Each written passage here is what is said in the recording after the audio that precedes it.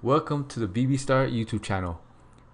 Click on that little red button to subscribe to my channel to get the latest videos on how much your favorite YouTubers earn.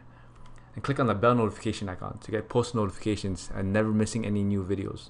In today's video, we will be talking about how much money Goonzquad makes from their merch. Their merchandise is very popular and most of the items get sold out pretty quickly. They sell hoodies, hats, slides, tees, shorts, and accessories. Revenue for merch. Goonzquad currently has 2,280,000 subscribers. So if you do 2,280,000 subscribers and you multiply by 5%, which is 0.05, you get 114,000.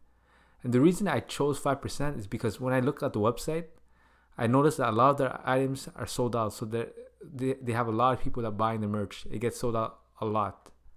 And I looked at their website and the average price was about $40, which gives them a profit about $20.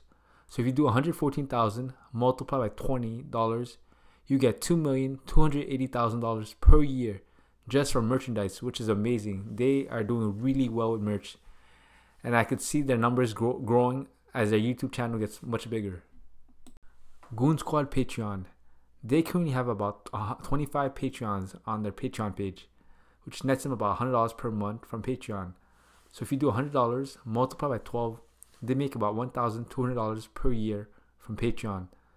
So the total revenue from merch and Patreon is $2,280,000 plus $1,200 and they make a, uh, a total revenue of $2,281,200 per year from their uh, Patreon and merch, which is amazing.